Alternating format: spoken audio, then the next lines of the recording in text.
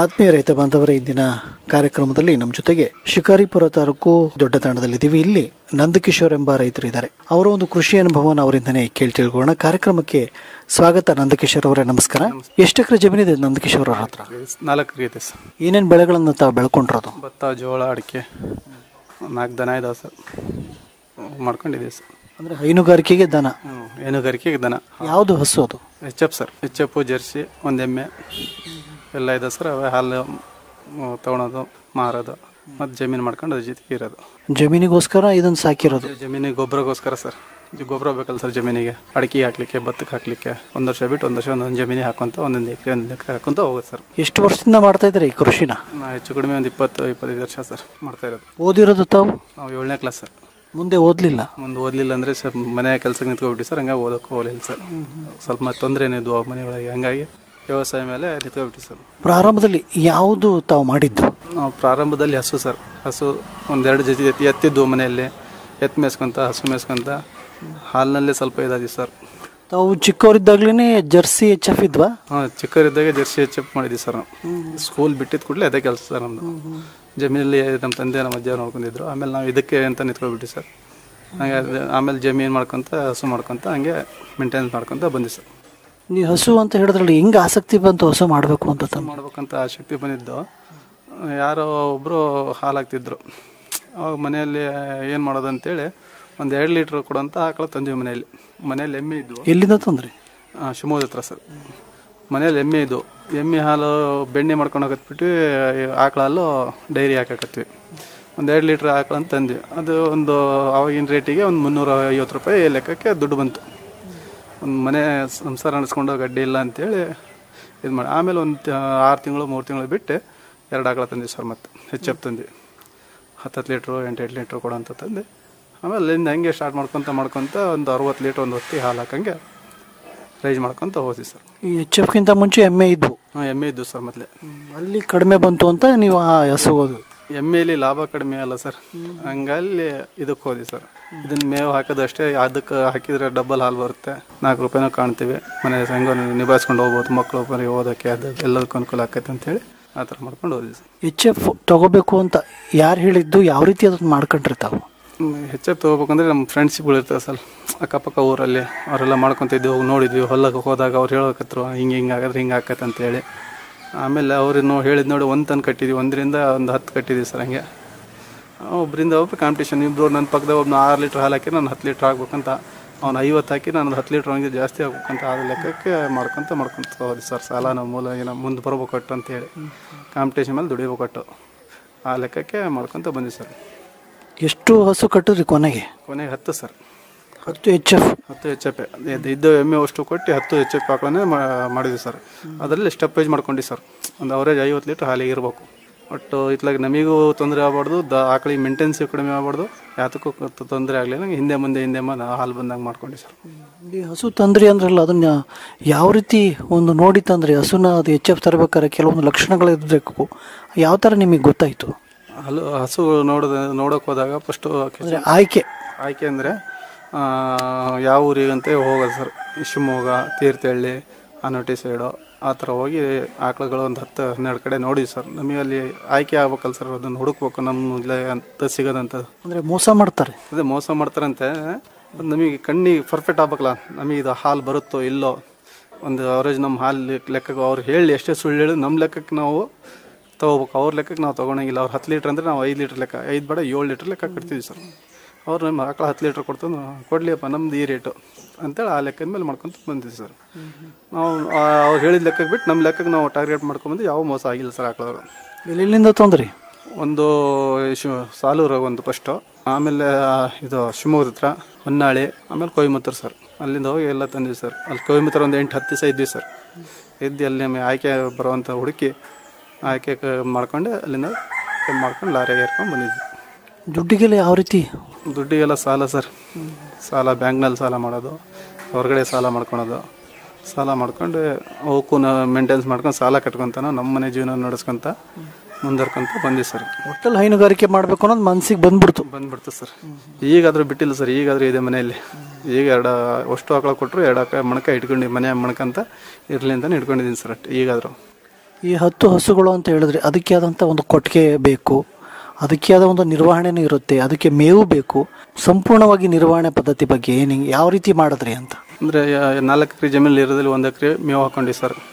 ಮೇವು ಹಾಕ್ಕೊಂಡು ಒಂದು ಕೊಟ್ಟಿಗೆ ಮಾಡ್ಕೊಂಡು, ಒಂದು ಬಾವಿ ಸಿಸ್ಟಮ್ ಬಾವಿ ಮಾಡ್ಕೊಂಡು, ಟ್ಯಾಂಕ್, ನೀರಿನ ಟ್ಯಾಂಕ್ ಮಾಡ್ಕೊಂಡು ಇದಕ್ಕೆ ಏನೇನು ವ್ಯವಸ್ಥೆ ಬೇಕೋ ಸಪ್ರೇಟ್ ಸಪ್ರೇಟ್ ಎಲ್ಲ ಮಾಡ್ಕೊಂಡು ಅದನ್ನು ಮೇಂಟೆನ್ಸ್ ಮಾಡ್ಕೊತ ಮಾಡ್ಕೊತ ಬಂದ್ವಿ ಸರ್ ಅವಾಗ ನಾವು ಸ್ವಲ್ಪ ಮದುವೆ ಆಯ್ತು ಮನೇಲಿ ಮಕ್ಕಳು ಅದು ಹಂಗೆ ಆಮೇಲೆ ಒಂದೊಂದೇ ಆಕಳ ಕೊಟ್ಕೊತ ಬಂದ್ವಿ ಸರ್ ಕೊಟ್ಕೊಂಬಂದು ಒಂದೆರಡು ಇಟ್ಕೊಂಡ್ವಿ. ಸೊ ಅಷ್ಟು ಮಾಡೋಕ್ಕಾಗಲ್ಲ ಅಂತೇಳಿ. ಒಂದೆರಡು ಇಟ್ಕೊಂಡಿದ್ವಿ ಸರ್ ಈಗ ಅವನ್ನೇ ಮೇಂಟೈನ್ ಮಾಡ್ಕೊಂಡು ಹೊಂಟಿದ್ವಿ. ಅಂದರೆ ಹಾಲಿನ ರೇಟ್ ಅವತ್ತಿಗೂ ಇವತ್ತಿಗೂ ತುಂಬ ವ್ಯತ್ಯಾಸ. ಭಾಳ ವ್ಯತ್ಯಾಸ ಇದೆ ಸರ್ ಅವಾಗ ನಾವು ಹಾಕಬೇಕಾದ್ರೆ ಆರು ರೂಪಾಯಿ ಮೂವತ್ತು ಪೈಸೆ ಇತ್ತು ಸರ್ ನಾವು ಫಸ್ಟ್ ಸ್ಟಾರ್ಟ್ ಮಾಡಿದಾಗ. ಇವತ್ತು ಹೆಚ್ಚು ಕಡಿಮೆ ಮೂವತ್ತೆಂಟು ರೂಪಾಯಿ ಮೂವತ್ತೈದು ರೂಪಾಯಿ. ಫ್ಯಾಟಿನ ಮೇಲೆ ದುಡ್ಡು ಅವಾಗ ಫ್ಯಾಟ್ ಏನೂ ಇರಲಿಲ್ಲ ಸರ್ ಸಾರಾ ಸೆಟ್ಟು. ಎಸ್ ಎನ್ ಎಫ್ ಅಂತ ಒಂದೇ ಇತ್ತು. ಇಪ್ಪತ್ತೊಂಬತ್ತು ಇಪ್ಪತ್ತೆಂಟು ಡಿಗ್ರಿ ಬಂದರೆ ತೊಗೊಳೋದು. ಈಗ ಹಂಗಲ್ಲ ಸರ್ ಈ ಎಲ್ಲದಕ್ಕೂ ಚೆಕ್ಕಿಂಗು ಫ್ಯಾಟ್ ಇರಲಿ ಏನೇ ಇರಲಿ ಚೆಕ್ ಮಾಡೇ ಮುಂದೆ ಹಾಲು ಪಾಸ್ ಮಾಡೋದು ಸರಿ ಅಷ್ಟೊಂದು ಹಸುನ ಯಾವ ಥರ ನಿರ್ವಹಿಸ್ತಿದ್ರಿ? ಬೆಳಗ್ಗೆ ಇದ್ರೆ ಹಾಲು ಕರಿಯೋಕೆ ಅದಕ್ಕೆಲ್ಲ ಜನಗಳು ಬೇಕು. ನೀವೆಲ್ಲ ಯಾವ ಯಾವ ರೀತಿ ಅಂತ? ಜನಗಳು ಯಾರೇ ಇಟ್ಕೊಂಡಿದ್ದಿಲ್ಲ ಸರ್ ನಾವೇ ಮನೆಯಲ್ಲೇ. ನಮ್ಮ ತಂದೆ ತಾಯಿ ನಮ್ಮ ತಂಗಿಯರು ಅವೆಲ್ಲ ಮನೆಯಲ್ಲೇ ಇನ್ನು ಮದುವೆ ಆಗಿದ್ದಿಲ್ಲ. ಮಕ್ಕಳು ನಮ್ಮ ತಂಗಿಯರೆಲ್ಲ ಅಷ್ಟು ಸೇರಿ ಮಾಡ್ತಿದ್ವಿ ಸರ್ ಬೆಳಗ್ಗೆ ಒಂದು ಮೂರುವರೆ ನಾಲ್ಕು ಗಂಟೆ ಹೇಳ್ತಿದ್ವಿ ಸರ್ ನಾಲ್ಕು ಗಂಟೆಗೆ ಅದು ಒಬ್ಬೊಬ್ಬರು ಒಂದೊಂದು ಕೆಲಸ. ಒಬ್ಬನ ಸಗಣಿ ಬಚ್ಚೋದು ಒಬ್ಬನ ಕಾಳು ಇಡೋದು ನೀರು ಹಾಕೋದು ಮುಗಿಸ್ಕೊಂಡು ಆಮೇಲೆ ಮೂರು ಜನ ಮೂರು ಹಸಿಗೆ ಒಂದು ಆಕಳಿಗೆ ಎರಡು ಎರಡು ಜನ ಕುತ್ಕೊಂಡು ಹಾಲು ಹಿಂಡ ಸ್ಟಾರ್ಟ್ ಮಾಡ್ತಿದ್ವಿ. ನಾಲ್ಕು ಕಾಲರು ಹಾಲು ಹಿಂಡ್ಕೊತೀವಿ ಸರ್. ನಾಲ್ಕೂವರೆ ಬೇಗೂರಿಗೆ ಹೋಗ್ಬೇಕು. ಬೇಗೂರು ತಕ್ಕ ನೆಲವಲ್ಲ ಹಾಲು ಹಾಕಿ ಬರ್ತೀವಿ ಸರ್. ಒಟ್ಟು ನಾಲ್ಕು ಮುಕ್ಕಾಲಿ ಕ್ಲೋಸ್ ಹಾಲಿನ ಕೆಲಸ. ಅಲ್ಲಿಂದ ಬಂದು ಮತ್ತೆ ಮೇವು ಹೋಗೋದು ಸರ್. ಮೇವು ಒಂದು ಎತ್ತಿ, ಎತ್ತಿದ್ದು ಗಾಡಿ ಕಟ್ಕೊಂಡು ಮೇವು, ಒಂದು ಗಾಡಿ ಮೇವು ತಂದರೆ ಆಗಲಲ್ಲ ಮೇವು ಆಗುತ್ತೆ ಸರ್. ಮತ್ತು ನಾವು ಮೇವು ಹೋದರೆ ಮನೆಗೆ ಅಮ್ಮರು, ತಂಗಿಯರು ಎಲ್ಲರೂ ಸೇರಿ ಆಕಳ ಮೈ ತೊಳೆಯೋದು, ಮೇವು ಹಾಕೋದು, ಅವರೆಲ್ಲ ಅದು ಮಾಡ್ಕೊಂಡು ಇರ್ತಿದ್ವಿ ನಾವು ಬಂದು ಹುಲ್ಲು ಇಟ್ಟು ಮತ್ತೆ ಇನ್ನು ಜಮೀನಿಗೆ ನಮ್ಮ ಕೆಲಸ ನಾವು ಹೋಗ್ತಿದ್ವಿ. ಮತ್ತೆ ಇನ್ನು ನಾಲ್ಕು ಗಂಟೆಗೆ ಮನೆಗೆ ಇರ್ತಿದ್ವಿ ಸರ್. ಕೊಟ್ಟಿಗೆ ಶುಚಿತ್ವ ಎಲ್ಲ ಯಾವ ರೀತಿ? ಕೊಟ್ಟಿಗೆ ಎಲ್ಲ ಸಿ ಗಾರಿ ಮಾಡಿಸಿದ್ವಿ ಸರ್. ಟ್ಯಾಂಕ್ ಸಿಸ್ಟಮ್ ಮಾಡಿ ಮೇವು ಹಾಕೋಕ್ಕೆಲ್ಲ ಟ್ಯಾಂಕ್ ಸಿಸ್ಟಮ್ ಮಾಡಿದ್ವಿ. ಪಕ್ಕದ ಪಕ್ಕದಾಗ ಒಂದೊಂದು ಟ್ಯಾಂಕ್ ಇಟ್ಟಿದ್ವಿ. ಡ್ರಮ್ ಕೊಳಗ ಡ್ರಮ್ಮಿಂಗ್ ಸಿಸ್ಟಮು. ಮೇವು ತಿನ್ಬೇಕು ನೀರು ಅಲ್ಲೇ ಕುಡಿಬೇಕು. ಹೊರಗಂತೂ ಎಲ್ಲೂ ಬಿಡ್ತಿರ್ಲಿಲ್ಲ. ಒಳಗೆ ಒಟ್ಟು. ಒಟ್ಟು ಒಂದು ಸೊಳ್ಳೆ ಹೋಗಲಿಲ್ಲ. ಕಾಪಾಡ್ಕೊಂಡು ಹೋಗ್ತಿದ್ವಿ ಸರ್. ಅದಕ್ಕೆ ಯಾವುದು ರೋಗಗಳು ಆತ ಆ ಕಾಲದಲ್ಲಿ? ರೋಗಗಳು ಬರ್ತಾವೆ ಸರ್ ಮಾಮೂಲಿ. ರೋಗಗಳಿಗೇನು ಸರ್ ಸ- ಬಂದೇ ಬರ್ತಾವೆ. ಜ್ವರ ಅಂತೆ ಕಾಲುವೆ ಜ್ವರ ಅಂತೆ ಆ ಜ್ವರ ಅಂತ ಈ ಜ್ವರ ಅಂತ ಬರ್ತಾವೆ. ಡಾಕ್ಟ್ರಿಗೆ ಇಲ್ಲೇ ಇದು ಮಾಡ್ಕೊಂಡು ಸರ್. ಟೈಮ್ ಟೈಮಿಗೆ ಬಂದು ಡಾಕ್ಟ್ರುಗಳು ಮೆಡಿಸಿನ್ ಅವು ಇವು ಕೊಡ್ತಿದ್ರು ಸರ್. ಒಟ್ಟಲ್ಲಿ ಹತ್ತು ಹಸುನು ಅದೇ ಥರ ಮೇಂಟೈನ್ ಮಾಡಿದ್ರು? ಹತ್ತು ಹಸುನು ಅದೇ ಥರ ಮೇಂಟೈನ್ ಮಾಡಿದ್ವಿ. ಅದೇ ಹೆಚ್ಚು ಕಡಿಮೆ ಹದ್ ಹದಿನೆಂಟು ವರ್ಷ ಮಾಡಿದ್ವಿ ಸರ್ ಅದೇ. ಹತ್ತು ಹಸುನು ಒಂದು ಹದಿನೆಂಟು ವರ್ಷ ಮಾಡಿದ್ವಿ ಸರ್. ಆಮೇಲೆ ಅಕ್ಕ ತಂಗಿಯರ ಮದುವೆ ಹಾಕೊಂತ ಬಂದು ನಾವು ಮನೆಯಲ್ಲಿ ಸ್ವಲ್ಪ ಕೆಲಸ ಮಾಡೋದು ಡಿ ಆಯ್ತು ಹಂಗೆ ಒಂದೊಂದೇ ಒಂದೊಂದು ಸಹ ಮಾಡ್ಕೊತ ಈಗ ಎಷ್ಟು ಜನಕ್ಕೆ ಎಷ್ಟು ಬೇಕು ಅಂತ ಹೇಳಿ ಆ ಲೆಕ್ಕ ಒಂದು ಎರಡು ಆಕಳ ಇಟ್ಕೊಂಡಿದ್ದೀವಿ ಸರ್. ಈಗ ಜೊತೆಗೆ ಕೃಷಿ. ಜೊತೆಗೆ ಕೃಷಿ ಸರ್. ಕೃಷಿ ಅಂದರೆ ಜಮೀನಿಗೆ ಜೋಳ ಹಾಕೋದು. ಜೋಳದಲ್ಲಿ ಅಂತ ಆದಾಯ ಇಲ್ಲ ಈಗ. ಎಲ್ಲ ಆಳು ಜಾಸ್ತಿ ರೇಟು. ಮೆಕ್ಕೆಜೋಳ ರೇಟ್ ಬೀಜ ರೇಟ್ ಜಾಸ್ತಿ ಗೊಬ್ಬರ ಬೀಜ ರೇಟ್ ಎಲ್ಲ ಜಾಸ್ತಿ. ಅಂದರೆ ನಾವೇನೋ ದನಿ ಗೊಬ್ಬರ ಕಡಿತೀವಿ ಅಂತೇಳಿ ಸ್ವಲ್ಪ ಪ್ರಮಾಣದಲ್ಲಿ ಸರ್ಕಾರಿ ಗೊಬ್ಬರ ಎಲ್ಲ ಹಾಕೋದಕ್ಕೆ ಕಡಿಮೆ ಮಾಡ್ತೀವಿ ಸರ್. ಅದೇ ಇರ್ಲಂಗಿದ್ರೆ ಎಲ್ಲ ಸರ್ಕಾರಿ ಗೊಬ್ಬರ ಹಾಕ್ತಂದ್ರೆ ರೋಗಗಳು ಜಾಸ್ತಿ ಸ್ಟಾರ್ಟ್ ಆಗ್ಬಿಡ್ತಾವೆ ಸರ್. ಹಂಗಾಗಿ ದನಿ ಗೊಬ್ಬರ ಸ್ವಲ್ಪ ಜಾಸ್ತಿ ಇದು ಮಾಡ್ತೀವಿ ಸರ್ ಯೂಸ್ ಮಾಡ್ತೀವಿ ನಾವು ಭತ್ತ ಅಂತ ಹೇಳಿದ್ರಿ. ಎಷ್ಟು ಎಕರೆಲ್ಲಿ ಹಾಕಿದ್ದೀರಾ? ಭತ್ತ ಒಂದು ಎರಡು ಎಕರೆ ಮಾಡಿದ್ವಿ ಸರ್. ಅಂದರೆ ನಮ್ದು ಒಂದು ಎಕರೆ ಬೇರೆ ಒಂದು ಎಕರೆ ಮಾಡಿದ್ವಿ ಸರ್. ಅವ್ರಿಗೆ ಕೊಟ್ಟು ಉಳಿ ಉಳಿದಿಲ್ಲ ಸರ್. ಏನು ಭತ್ತದಲ್ಲಿ ಏನು ಲಾಭ ಇಲ್ಲ. ಏನಪ್ಪ ಯಾವ ಥರ ಮಾಡ್ತೀರಾ? ಭತ್ತ ಅವ್ರಿಗೆ ಕೊಡೋದು ಅಂದರೆ ಹೆಂಗೆ? ಎಕರೆಗೆ ಒಂದು ಹತ್ತು ಕ್ವಿಂಟಲು ಒಂಬತ್ತು ಕ್ವಿಂಟಲು. ಅವರಿಗೆ ಗುತ್ತಿಗೆ ಒಂದು ವರ್ಷಕ್ಕೆ ಒಂದು ಹತ್ತು ಕ್ವಿಂಟಲ್ ಒಂಬತ್ತು ಕ್ವಿಂಟಲ್ ಲೆಕ್ಕಕ್ಕೆ ಮಾತಾಡ್ಕೊಂಡಿರ್ತೀವಿ. ಎಪ್ಪತ್ತೈದು ಎಂಬತ್ತು ಕೆ ಜಿ ಭತ್ತ. ಖರ್ಚೆಲ್ಲ ನಿಮ್ಮದೇ ಖರ್ಚೆಲ್ಲ ನಮ್ಮದೇ ಅಂದರೆ ಅವ್ರಿಗೆ ಒಂದು ಸೀಸನಿಗೆ ಹತ್ತು ತೂಕ ಭತ್ತ ಕೊಡ್ಬೇಕು ಎಂಬತ್ತು ಚೀಲದ ನಾವು ಹೆಂಗೆ ಅವತ್ತಿಂದ ಏನು ಮಾತಾಡ್ತೀವಿ ಆ ರೇಟಿಗೆ ಕೊಡ್ಬೇಕು ಸರ್ ಅವ್ರಿಗೆ. ಆ ಕೊಟ್ಟು ಉಳಿದಿರೋದು ನಾವು ಮಾಡೋದು ಯಾತಕ್ಕಂದ್ರೆ ಸರ್ ದನ ಇದಲ್ಲ ಸರ್ ಮನೆಯಲ್ಲಿ. ಮೇವಿಗಂತ ಮತ್ತು ಅಲ್ಲಿ ಮೇವು ತಗೋಬೇಕಲ್ಲ. ದನಕ್ಕೆ ಮೇವು ಆದರೆ ಉಳಿಲಿ ಅಂತೇಳಿ ಆ ಜಮೀನು ಮಾಡ್ಕೊಂಡು ಇರೋದು ಸರ್ ಮಂದಿ ಜಮೀನು. ಯಾವ ಭತ್ತ ಹಾಕಿದ್ದೀರಾ? ಹ್ಮ್, ಆರೇನೇ ಹಾಕಿದ್ವಿ ಸರ್. ಎಲ್ಲದಕ್ಕೂ? ಎರಡು ಎಕರೆ ಆರೇನೇ ಹಾಕಿ ಸರ್. ಹೇಗಿದೆ ರೇಟ್ ಅದು? ರೇಟ್ ಒಂದು ಈಗ ಮೂರು ಸಾವಿರ ರೂಪಾಯಿ ಇದೆ ಸರ್ ಈಗ. ನಾವು ಭತ್ತ ಕೊಯ್ಲು ಮಾಡಿದ ಆ ರೇಟ್ ಇರಲ್ಲ ಸರ್. ಈ ಶಿ ಭತ್ತ ಇಲ್ಲಲ್ಲ ಹಂಗೆ ಆ ರೇಟ್ನಲ್ಲಿದೆ ಅಂದರೆ ಈ ವರ್ಷ ಅಂತ ಇಳುವರಿನೂ ಇಲ್ಲ ಸರ್. ಮಳೆ ಎಲ್ಲ ಹೋತು ನೀರಿಲ್ಲ ಇದೆ ಎಲ್ಲ ಹಾಳಾಗಿದೆ ಸರ್ ಸ್ವಲ್ಪ. ಹೆಂಗ್ ನಿರ್ವಹಣೆ ಹೆಂಗ್ ಮಾಡ್ತಿದ್ದೀರಾ ಗದ್ದೆನ? ಗದ್ದೆಯಲ್ಲೇ ಬೋರ್ ನೀರು ಅವ್ರ ನೀರು ಇವ್ರ ನೀರು ತಗೊಂಡು ಇದು ಮಾಡ್ತಿದ್ದೀವಿ ಸರ್ ಸದ್ಯಕ್ಕೆ. ಒಂದು ಲೆಕ್ಕ ಅಂದರೆ ಹೋದಂಥ ಬ ಬೆಳೆ ಬರೋದಿಲ್ಲ ಸರಿ. ಎಕರೆ ಒಂದು ಇಪ್ಪತ್ತು ಚೀಲ ಇಪ್ಪತ್ತೈದು ಚೀಲ ಬಂದರೆ ಹೆಚ್ಚಿಗೆ ಆಯ್ತು ಸರಿ. ಮೂವತ್ತು ತನಕ ಹೇಳ್ತಾರೆ? ಅಲ್ಲ ಮೂವತ್ತು ಮೀಟರ್ ತಗೊಂಡಿದ್ದೆ ಸರ್. ನಲ್ವತ್ತು ಮೀಟರ್ ತೊಗೊಂಡಿದ್ದೀವಿ ಸರ್. ಅಂತ ಈ ಎರಡು ವರ್ಷದಿಂದ ಸ್ವಲ್ಪ ಹೋದ ವರ್ಷ ಮಳೆ ಜಾಸ್ತಿ ಆಯ್ತು. ಈ ವರ್ಷ ಮಳೆ ಹೋಯ್ತು. ಹಂಗೆ ಕಡಿಮೆ ಇದೆ ಸರ್. ಭತ್ತ ಹೇಳಿದ್ರೆ. ಬೋರ್ ಏನು ಹಾಕ್ಸಿಲ್ಲ? Bore ಹಾಕ್ಸಿದೆ sir. ಅದು ಅಡಿಕೆ ತೋಟಕ್ಕಿದೆ ಅದೇ ಈ ಭತ್ತಕ್ಕೆ ಏನಾದ್ರದ್ದು ಉಪಯೋಗ ಇಲ್ಲ? ಭತ್ತಕ್ಕೇನು ಉಪಯೋಗ ಇಲ್ಲ ಸರ್ ಅದು. ಯಾವ ಭಾಗದಲ್ಲಿದೆ ನಿಮ್ದು ಜಮೀನು ಭತ್ತದ್ದು? ಭತ್ತದ ನೆಲಪಲ್ಲಿ ಬರೋ ಸರ್. ಬೇರೆ ಬೋರಿಂದ ನೀರು ತೊಗೊಂಡಿದ್ದೀವಿ ಸರ್. ಅವರು ಅವರು ಮುಗಿಸ್ಕೊಂಡು ನಮಗೆ ಕೊಡ್ಬೇಕು ಅವರು. ಅವ್ರು ಕೊಟ್ಟ ಮೇಲೆ ನಮಗೆ ನೀರು ಇಲ್ಲಿದ್ರೆ ಇಲ್ಲ ಸರ್. ಬಟ್ ಅಂದು ತೊಂದರೆ ಏನು ಮಾಡಿಲ್ಲ. ಒಟ್ಟು ಕೊಟ್ಟಿದ್ದಾರೆ ಸರ್. ಅಲ್ಪ ಸ್ವಲ್ಪ ನಡೆ ನಡ್ಸಕತ್ತೀವಿ. ಕಳೆ ನಿರ್ವಹಣೆಯಲ್ಲಿ ಯಾವ ಥರ? ಕಳೆ ಎಲ್ಲ ಜನ ಹಚ್ಚಿ ತೆಗಿಸ್ತೀವಿ ಸರ್. ನೀವೇನು ಹೋಗಲ್ಲ? ನಾವೇನು ಹೋಗಲ್ಲ ಸರ್ ಜನ ಹಚ್ಚಿ ತೆಗಿಸ್ತೀವಿ ಹೆಣ್ಮಕ್ಳಿಗೆ ಆಳು ಹಚ್ಚಿ ತೆಗಿಸ್ತೀವಿ ಸರ್. ನಮಗೆ ಹಗಲೆಲ್ಲ ಮಾಡೋಕ್ಕಾಗಲ್ಲ ಆಗ್ಬೇಕಲ್ಲ ಸರ್. ಬಗ್ ಮಾಡೋಕ್ಕಾಗಲ್ಲ. ಹೆಣ್ಮಕ್ಳು ಒಂಚೂರು ಬಗ್ ಮಾಡ್ತಾರೆ. ನಾವು ಬದಗಿದ ಸೈಡ್ ಏನಿದಾವಲ್ಲ ನಾವು ನೋಡ್ಕೊಂತೀವಿ. ಹೆಣ್ಣುಗಳು ಹೆಣ್ಣಾಳು ಒಳಗೆ ಹೋಗಿ ನಾಟಿ ಹಚ್ಚೋದಿರಲಿ ಕಳೆ ತೆಗೆಯೋದಿರಲಿ ಪ್ರತಿಯೊಂದು ಅವ್ರು ಮಾಡ್ತಾರೆ ಸರ್. ಔಷಧಿ ಹೊಡೆಯೋಲ್ಲ ನಮ್ಮ ಗಂಡಾಳಿಂದ ಎಲ್ಲ. ಯಾವ್ಯಾವುದು ರೋಗ ಬಂತು ಭತ್ತಕ್ಕೆ? ಜಿಗಿ ಫಸ್ಟ್ ನಾವು ಎರಡೇ ಔಷಧಿ ಹೊಡೆದ್ರಿ ಸರ್. ಫಸ್ಟಿಗೆ ಒಂದು ಸ್ವಲ್ಪ ಕೆಂಪು ರೋಗ ಬಂದು ಸ್ಟಾರ್ಟ್ ಆಯ್ತು. ಆಮೇಲೆ ಬೆಳ್ಳಗಾಗತ್ತೆ ಅದಕ್ಕೆ ಎರಡು ಹೊಡೆದ್ವಿ. ಬೆಂಕಿ ರೋಗ ಏನಿಲ್ಲ ಸರ್. ಬೆಂಕಿ ಏನಿಲ್ಲ. ಬೆಂಕಿ ಅಂದರೆ ನಾವು ಸ್ವಲ್ಪ ಸರ್ಕಾರಿ ದನಿ ಗೊಬ್ಬರ ಹಾಕ್ತೀವಲ್ಲ ಸರ್. ಹಂಗೆ ಒಂಚೂರು ಬೆಂಕಿ ರೋಗ ಟಚ್ ಆಗಲ್ಲ ಅದೇ ಇಲ್ಲ ಬರೀ ಸರ್ಕಾರಿ ಗೊಬ್ಬರ ಯೂರಿಯಾ ಗೊಬ್ಬರ ಒಂದೇನು ಸ್ವಲ್ಪ ಜಾಸ್ತಿ ಮಿಕ್ಸ್ ಮಾಡೋ ಹಾಕಿದ್ರೆ ಬೆಂಕಿ ರೋಗಕ್ಕೆ ಸ್ಟಾರ್ಟ್ ಆಗುತ್ತೆ ಸರ್. ಎಷ್ಟು ಬರ್ಬೋದು ಅಂತ ಈ ಸರಿ ತಾವು? ನಮ್ದು ಈ ಸರಿ ಒಂದು ಇಪ್ಪತ್ತು ಚೀಲ ಎಕರೆಗೆ ಇಪ್ಪತ್ತು ಚೀಲ ಬರ್ಬೋದು ಅಂತ ಇದೆ ಸರ್. ಖರ್ಚು ಎಷ್ಟು ಮಾಡಿದ್ದೀರಾ? ಖರ್ಚು ಒಂದು ಎಕರೆಗೆ ಇಪ್ಪತ್ತೈದು ಸಾವಿರ ರೂಪಾಯಿ ಹೋಗುತ್ತೆ ಸರ್. ಒಟ್ಟು ಕೊಯ್ಯೋದ್ರಲ್ಲಿ ಒಂದು ಇಪ್ಪತ್ತು ಇಪ್ಪತ್ತಾರು ಸಾವಿರ ರೂಪಾಯಿ ಲೆಕ್ಕಕ್ಕೆ ಹೋಗುತ್ತೆ ಕೊಯ್ದು ರೆಡಿ ಮಾಡೋದ್ರಲ್ಲಿ. ಬೇರೆಯವ್ರಿಗೆ ಕೊಡ್ತೀರಾ ಇಡ್ತೀರಾ ತಾವೇ ಹೋಗೋದಾ? ಇಡ್ತೀವಿ ಸ್ವಲ್ಪ ಮನೆ ಊಟಕ್ಕೆ ಇಟ್ಕೊಂಡು ಬಾಕಿ ಕೊಟ್ಟು ಸಾಲ ಹರಿಬೇಕಲ್ಲ ಸರ್. ಅಂದರೆ ಕೆಲವರು ಬೆಳೆದಂಥದ್ದನ್ನು ಸ್ವಲ್ಪ ದಿವಸ ಅಂತಂದರೆ ಒಂದು ಎರಡು ಮೂರು ತಿಂಗಳು ಇಟ್ಕೊಂಡು ರೇಟ್ ಬಂದಾಗ ಕೊಡೋದು ಆ ಥರ ಮಾಡ್ತಾರೆ. ತಾವು ಯಾವ ಥರ ಅಂತ? ಥರ ಮಾಡಲ್ಲ ಸರ್ ನಾವು ಹಿಂದ್ಕೂಟನೇ ಕೊಡ್ತೀವಿ ಸರ್. ಯಾಕಂದರೆ ನಾವು ಇವತ್ತು ಭತ್ತ ಕೊಯ್ದಿರಿ ಅಂದರೆ ಹಿಂದ್ಕೂಟನೇ ಸಾಲದವ್ರು ಬೆನ್ನತ್ತಾರೆ. ಅವ್ರಿಗೆ ಕೊಡಲೇಬೇಕಾ. ತಮ್ಮ ಭತ್ತ ಕೊಯ್ದಿ ಅಂತ ದುಡ್ಡು ಕೊಡಪ್ಪ ಅಂತಾರೆ. ಮತ್ತು ಹಂಗಾಗಿ ನಮಗೆ ಎಷ್ಟು ಬೇಕು ಅಷ್ಟು ಇಟ್ಕೊಂಡು ಊಟಕ್ಕೆ ಅವರು ಕೊಟ್ಟು ಈ ವರ್ಷ ಎಲ್ಲ ಮುಂದೆ ಶಾಪ್ ಕೊಡ್ತೀವಿ ಪೊಳ್ಕೊಂಡಿದ್ರೆ ಇಲ್ಲ ತೀರಿದ್ರೆ ಅಲ್ಲಿಗೆ ಕ್ಲೋಸ್ ಆಗುತ್ತೆ ಸರ್. ಮತ್ತೆ ಇನ್ನೂ ಹೊಸ ವ್ಯವಹಾರ ಮಾಡ್ಕೊಂಡು ಮುಂದೆ ಲಾಭ ಅಂತ ಏನು? ಲಾಭ ಅಂತ ಏನು ಇಲ್ಲ ಸರ್. ಹೋದ ವರ್ಷ ಲಾಭ ಆಗಲಿಲ್ಲ. ಈ ಸರಿನೂ ಅಂತ ಲಾಭ ಇಲ್ಲ ಸರ್. ಲಾಭ ಕಾಣಲೆಕ್ಕಲ್ಲಿ ಇಲ್ಲ. ಆದರೂ ಭತ್ತ ಮಾಡ್ತೀರಿ? ಆದ್ರೂ ಮಾಡಲೇಬೇಕಲ್ಲ ಸರ್. ಜಮೀನು ಹಂಗೆ ಖಾಲಿ ಬಿಡಕ್ಕೆ ಬರಲ್ಲ. ದನ ಕರ ಮೇವು ಅದ್ರಿಗೋಸ್ಕರ ಆದ್ರೂ ಬರಲಿ ಅಂತೇಳಿ ಮಾಡ್ಲೇಬೇಕು ಸರ್ ನಾವು. ಇಲ್ಲ ನಾವು ಊಟ ಮಾಡಿ ಅವಕ್ಕೆ ಉಪವಾಸ ಮನ್ಸಿಂಗ್ ಆಕತ್ತೆ. ಅಲ್ಲ ಭತ್ತ ಬೆಳೆದ್ರೆ ಊಟನೇ ಇಲ್ಲ ಯಾರಿಗೂ. ಅಲ್ಲ ನಮಗೂ ಊಟ ಇಲ್ಲ ಅವಕ್ಕೂ ಊಟ ಇಲ್ಲ. ದನಕರನು ಉಪಸ ಉಪವಾಸ ನಾವು ಉಪಸನೆ. ಹಂಗಾಗಿ ಭತ್ತ ಮಾಡಲೇಬೇಕು ಸರ್. ಭತ್ತ ಇರಲಿ ಜೋಳ ರಾಗಿ ಇರಲಿ ಜೋಳ ಇರಲಿ ಅಂತ ಏನಾದ್ರು ಮಾಡಲೇಬೇಕು. ಊಟಕ್ಕೋಸ್ಕರ ಆದರೂ. ಭತ್ತದ ಜೊತೆಗೆ ಬೇರೆ? ಭತ್ತ ಜೊತೆ ಏನಿಲ್ಲ ಸರ್ ಜೋಳ. ಮೆಕ್ಕೆಜೋಳ ಮೆಕ್ಕೆ ಅದು ಏನಿಲ್ಲ ಅಂತ ರೇಟ್ ಏನಿಲ್ಲ ಸರ್ ಜೋಳನ ಹೋತೀವಿ ಸರಿ ಅಂತ ಏನಿಲ್ಲ. ಮಳೆ ಈಗ ಪ್ರಾರಂಭ ಆಗಿದೆ. ಈಗ ಪ್ರಾರಂಭ ಆದ್ರೆ ಏನು ಉಪಯೋಗ ಸರ್ ಈಗ? ಬಂದಿದ್ದನ್ನು ಬೆಳೆಯನ್ನು ಹಾಳು ಮಾಡ್ಲಿಕ್ಕೆ ಬರಕತ್ತೈತಿ ಈಗ. ಮತ್ತೆ ಅದ್- ಮತ್ತೆ ಅದಕ್ಕೆ ಉಪಯೋಗ ಇಲ್ಲ ಈಗ. ಏನಪ್ಪ ತೋಟಗಳಿಗೆ ಬೋರ್ಗಳು ಸ್ವಲ್ಪ ನೀರು ಕುಡಿಯೋಕೆ ರೈಜ್ ಆಗ್ತಾವ ಅಷ್ಟೇ. ಅದು ಬಿಟ್ರೆ ಮತ್ತೆ ಉಪಯೋಗ ಏನಪ್ಪ ಆಗೋಗಿತ್ತು ಮಳೆ ಹಿಂದಾದ್ರೆ ರೈತರು ಬದುಕೊಂತಿದ್ರಿ ಸರಿನೋ? ಎಡವಟ್ಟು ಆತಿ ಸರಿ. ಜೋಳಕ್ಕಂತೂ ಉಪಯೋಗ ಇಲ್ಲ. ಜೋಳಕ್ಕಂತೂ ಯಾತಕ್ಕಿಲ್ಲ ಸರ್. ಜೋಳ ಅಂತ ಹೋಗೋದೇವು ಈಗ. ಹಂಗೆ ಮಳೆ ಇಟ್ಕೊಂಡ್ರೆ ಅವು ನಾಲ್ಕು ನಾಲ್ಕು ಕಾಳು ಅವು. ಮೊಳಕೆ ಹತ್ತಿ ಅಲ್ಲೇ ಅಡ್ಡ ಬೀಳ್ತವೆ. ಶಕ್ತಿ ಇಲ್ಲ ಅವಕ್ಕಾಗಲೇ ಹಂಗಾಗಿ ಅಲ್ಲೇ ಇದಾಗವು ಅಡಿಕೆ ಕೂಡ ಅಂತ ಹೇಳಿದ್ರಿ ಆಸಕ್ತಿ ಹೇಗೆ ಬಂತು? ಅಡಿಕೆ ಒಂದು ಏಳು ಎಂಟು ವರ್ಷ ಸರ್ ಈಗ. ಸಾಕಿದ್ವಿ ಮಕ್ಕಳು ಸಾಕಿದಂಗೆ. ಮುಂದೆ ಏನಾಗುತ್ತೆ ರೇಟು? ಹೆಂಗೆ ಇಳುವರಿ ಬರುತ್ತೆ ಅಂತ ನೋಡ್ಬೇಕು ಸರ್. ಈ ಸರಿ ಒಂದು ಇಪ್ಪತ್ತೈದು ಆಗಿದೆ ಸರ್. ಇನ್ನೂ ಒಂದು ಬೀಡು ಎರಡು ಬೀಡ ಆಗುತ್ತೆ. ಎಷ್ಟಾಗಬೇಕು ಅಂತ ನೋಡ್ಬೇಕು ಸರ್. ಒಂದು ಬ್ರಿಡ್ ಕುಯ್ಸಿದ್ರಿ? ಒಂದು ಬೀಡು ಕೊಯ್ಸಿದ್ವಿ ಸರ್. ಒಂದು ಇಪ್ಪತ್ತೈದು ಆಗಿದೆ. ಇಪ್ಪತ್ತೈದು ಕ್ವಿಂಟಲ್. ಇಪ್ಪತ್ತೈದು ಕ್ವಿಂಟಲ್ ಆಗಿದೆ ಸರ್. ಇನ್ನು ನೆಕ್ಸ್ಟ್ ನೋಡ್ಬೇಕು ಸರ್. ಎಷ್ಟಾಗುತ್ತೆ ಅಂತ ನೋಡ್ಬೇಕು ಇನ್ನು. ಎಂಟು ವರ್ಷ ಗಿಡ ಸರ್. ಯಾವ ಗೋಟ್ ತಂದು ಹಾಕಿದ್ದು ಆವಾಗ? ಚನ್ನಗಿರಿ ಗೋಟ್ ತಂದು ಹಾಕಿದ್ವಿ ಸರ್. ಚನ್ನಗಿರಿ ಸೈಡಿಂದ ಅಡಿಕೆ ಗೋಟು ಅವರೇ ಸಸಿ ನಮ್ಮ ಫ್ರೆಂಡ್ಗಳೇ ಸಾಕಿದ್ರು. ಅವ್ರ ಹತ್ರನೇ ನಮ್ದು ಚೆನ್ನಾಗಿದೆ ಅಂತ ಹೇಳಿ ಅವರು ತೋಟ ಎಲ್ಲ ತಿರುಗಿದ್ವಿ ಚೆನ್ನಾಗಿದ್ದು. ಅಲ್ಲಿಂದ ಚನ್ನಗಿರಿ ಗೋಟ್ ತಂದು ಹಾಕಿದ್ದೆ ಸರ್.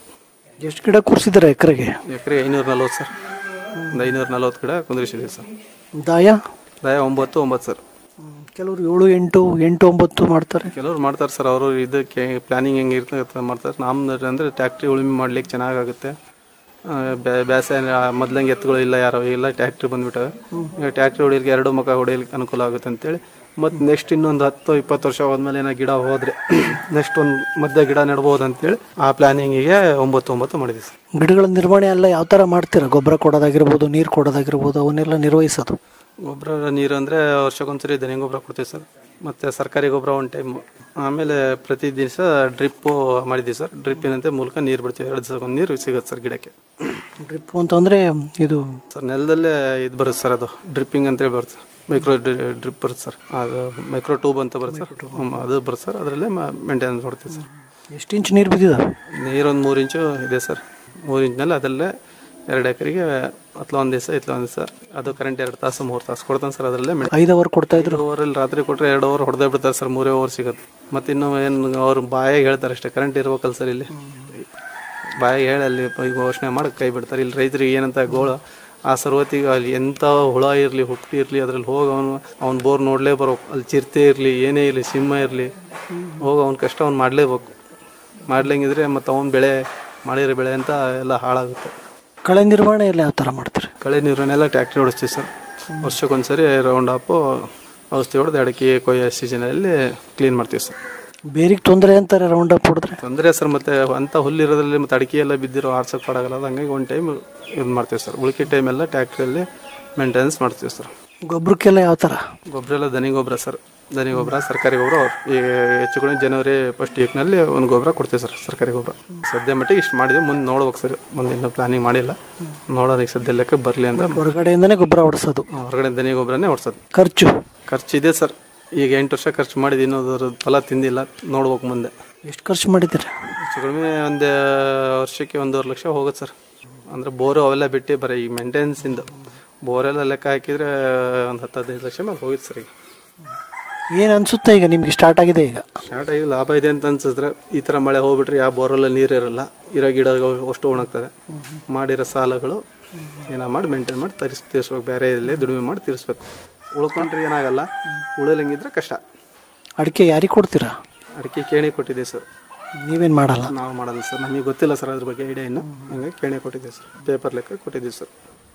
ಇನ್ನು ಎಷ್ಟು ಬೀಡ್ ಕೊಯ್ಬೇಕು ಇನ್ನು? ಇನ್ನೊಂದು ಬೀಡು ಕೊಯ್ಬೇಕು ಸರ್. ಇನ್ನು ಎರಡು ಬೀಡು ಕೊಯ್ ಕೊಯ್ಬೋದು ಸರ್ ಇನ್ನು. ಅಂದರೆ ಭಾಳ ಹಸಿ ಇದಾವೆ ಕೆಲವು. ಇನ್ನೊಂದು ಎರಡು ಬೀಡು ಆಗ್ಬೋದು. ಇದು ಎರಡನೇ ಬಾರಿ ಕೊಯ್ತಾರದ ಮೂರನೇ ಬಾರಿ ಕೊಯ್ತಾರೆ ಮೂರನೇ ತೆಗಿತಾ ಇದ್ದೀರಾ? ಮೂರನೇ ಮೂರನೇ ಬಾರಿ ಕೊಯ್ತಾರೆ ಇದಕ್ಕೆ ಅಂದರೆ ಟೋಟಲ್ ಒಂದು ಹತ್ತು ವರ್ಷದ ನಂತರವಾಗಿ ತಮಗೆ ಒಳ್ಳೆ ಇಳುವರಿ ಪ್ರಾರಂಭವಾಗುತ್ತೆ. ಒಂದು ಹತ್ತು ವರ್ಷ ಮೇಲೆ ಇಳುವರಿ ಆಗುತ್ತೆ ಸರ್. ಇನ್ನು ಎರಡು ಮೂರು ವರ್ಷ ಬೇಕು ಸರ್ ಇಳುವರಿ ಕರೆಕ್ಟಾಗಿ ಅಂದರೆ ಕೆಲವು ಗಿಡ ಸಣ್ಣ ದೊಡ್ಡ ಇದ್ದಾವೆ ಹೆಚ್ಚು ಕಡಿಮೆ. ನಾಲ್ಕೈದು ವರ್ಷ ಒಟ್ಟು ಪೂರ್ತಿ ಕವರ್ ಆಗಿ ನಾಲ್ಕೈದು ವರ್ಷ ಬೇಕು ಸರ್. ಇಷ್ಟೆಲ್ಲ ಮಾಡಿದಿರಿ. ಹೈನುಗಾರಿಕೆ ಉತ್ತಮ ಅಂತೀರಾ ಇದು ಉತ್ತಮ ಅಂತೀರಾ? ಹೈನುಗಾರಿಕೆನೇ ಉತ್ತಮ ಸರ್ ಏನೇ ಅಂದರು. ಮಳೆ ಅದಕ್ಕೆ ಮೇವು ನೀರು ಅಂತ ಕರೆಕ್ಟಾಗಿ ದುಂಡು ಮಾಡಿ ಇಟ್ಕೊಬಿಟ್ರೆ ಹೈನುಗಾರಿಕೆ ಮಂದಿ ಅದಲ್ಲ ಸರ್. ರೈತ ಬಿ ಏನುಗಾರಿಕೆ ಒಂದು ಐವತ್ತು ಲೀಟ್ರ್ ಹಾಲಿದ್ರೆ ಹತ್ತು ಎಕರೆ ತೋಟದನಿ ಮೀರಿಸ್ಬೋದು ಸರ್. ಆ ಲೆಕ್ಕದಲ್ಲಿ ಇದೆ. ಅಂದರೆ ಸ್ವಲ್ಪ ಶ್ರಮ ಇದೆ ಅದರಲ್ಲಿ ಜಾಸ್ತಿ. ಅವ್ರು ತಿಂಗಳಿಗೆ ಬಂದ್ಬಿಡುತ್ತಲ್ಲ? ಹತ್ತು ತಿಂಗಳಿಗೆ ಬರುತ್ತೆ ಅಂದ್ರೆ ಶ್ರಮ ಜಾಸ್ತಿ ಇದೆ. ಇದು ಹೈನುಗಾರಿಕೆಯಲ್ಲಿ ಶ್ರಮ ಜಾಸ್ತಿ ಇದೆ. ಬಟ್ ಒಂದು ಆಳಂತೂ ಯಾರು ಬರಲ್ಲ ಸರ್. ಈ ಮನೆಯಲ್ಲೇ ಮಾಡ್ಕೊಂಡು ಗಂಡ ಹೆಂಡತಿ ಮಾಡ್ಕೊಂಡು ಹೋದರೆ ಒಂದೊಂದು ಒಳ್ಳೆ ಪ್ರಾಫಿಟ್ ಇದೆ ಸರ್ ಅದರಲ್ಲಿ ಹೈನುಗಾರಿಕೆಯಲ್ಲಿ ನಮ್ಮ ಅನುಭವ ಪ್ರಕಾರ. ಅಂದರೆ ಬೆಳಗ್ಗೆ ಹೇಳೋದೇ ದೊಡ್ಡ ಪ್ರಾಬ್ಲಮ್ ಹ್ಞೂ ಬೆಳಗ್ಗೆ ಹೇಳೋದೇ ದೊಡ್ಡ ಪ್ರಾಬ್ಲಮ್ ಬೆಳಗ್ಗೆ ಎದ್ದು ಒಂದು ಮೇವು ತರ ಮುಟ ಮೇವು ತಂದು ಸ್ಟಾಕ್ ಮಾಡ್ಕೊಬಿಟ್ರೆ ಹಸಿ ಮೇವು ತಂದು ಸ್ಟಾಕ್ ಮಾಡ್ಕೊಬಿಟ್ರೆ ಆಮೇಲೆ ಮಧ್ಯಾಹ್ನ ಎಲ್ಲ ಫ್ರೀ ಮತ್ತು ಇನ್ನು ಸಾಯಂಕಾಲ ನಾಲ್ಕು ಗಂಟೆ ಮೇಲೆ ಒಂದು ಗಂಟೆ ಒಂದೂವರೆ ತಾಸು ಕೆಲಸ. ಆಮೇಲೆ ಫ್ರೀ ಇರ್ತೀವಿ ಸರ್ ಇನ್ನು. ಏನು ಹೇಳ್ತೀರಾ ಕಾರ್ಯಕ್ರಮ ಕೇಳ್ತಕ್ಕಂಥವ್ರಿಗೆ ಯಾವ ರೀತಿ ಮಾಡಿ ಕೃಷಿ ಒಳ್ಳೆ ಲಾಭ ಪಡಿಬೋದು ಅಂತ? ಕಾರ್ಯಕ್ರಮದಲ್ಲಿ ಹೈನುಗಾರಿಕೆ ಮಾಡಿದ್ರೇ ರೈತರಿಗೆ ಅನುಕೂಲ.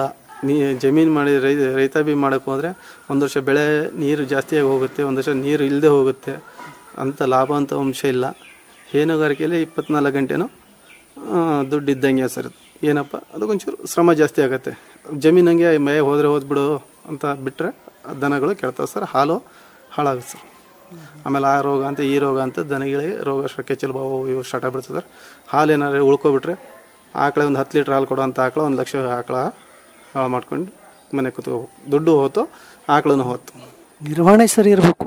ನಿರ್ವಹಣೆ ಸರಿ ಇರಬೇಕು. ಒಟ್ಟು ನಿರ್ವಹಣೆ ನಮ್ಮ ಕೈಯಿಂದ ಆಗ್ಲಿಂಗಿದ್ರೆ ಅವತ್ತೇ ತಕ್ಷಣನೇ ಯಾರಿಗೋ ಕೊಟ್ಟು ಬಿಟ್ಟರೆ ನಮಗೂ ನಾಲ್ಕು ರೂಪಾಯಿ ಹಾಕಿದ ದುಡ್ಡು ವಾಪಸ್ ಬರುತ್ತೆ. ನಮ್ಮ ಇರೋ ಸಾಲ ಹರ್ಕೋಬೋದು. ಏ ಮನೆಯಲ್ಲೇ ಇರಲಿ ಬಿಡು ಇಷ್ಟೇ ಮೇವು ತೆಗೆದುಕೊಂಡು ಇರಲಿ ಬಿಡು ಅಂತ ಮಾಡೋಕ್ಕೆ ಹೋದರೆ ಅದೇನು ಸಾರ್ಥಕ ಅಲ್ಲ ನಾವೇ ಹಾಳಾಗೋ ಸರ್ ಅದಕ್ಕೆ ಹೈನುಗಾರಿಕೆಯಲ್ಲಿ ಅದಕ್ಕೆ ಎಷ್ಟು ಕ್ಲೀನಾಗಿ ನಾವು ನೋಡ್- ನೋಡ್ಕೊಂತೀವಿ ನಮಗೂ ಅಷ್ಟು ನಮಗೆ ಕ್ಲೀನಾಗಿ ನೋಡ್ಕೊಂಡು ಹೋಗ್ತದೆ ಹೈನುಗಾರಿಕೆ ಮಾತ್ರ ಒಳ್ಳೆಯದು ನಂದ ಕಿಶೋರ್ ಅವರೇ. ತಮ್ಮ ಒಂದು ಕೃಷಿ ಅನುಭವನ ನಮ್ಮೊಂದಿಗೆ ಹಂಚಿಕೊಂಡಿದ್ದೀರಿ ಕಾರ್ಯಕ್ರಮದಲ್ಲಿ ಭಾಗವಹಿಸೋದಕ್ಕೆ ಧನ್ಯವಾದಗಳು ನಮಸ್ಕಾರ. ನಮಸ್ಕಾರ ಸರ್.